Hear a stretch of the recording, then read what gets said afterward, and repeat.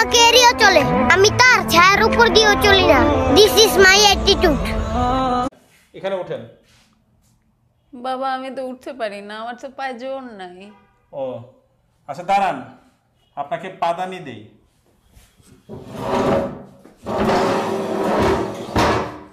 এখানে পা দেন। এখানে পা দিব মানে? না পা দিলে কেমনে হবে? আমি পা দিব না। না পা দিলে উঠতে পারবেন না। এখানে ওঠার জন্য পা দিতে হবে কেন? আপনি না পা দিলে উঠবেন কীভাবে? উঠতে হলে এখানে পা দিতে হবে?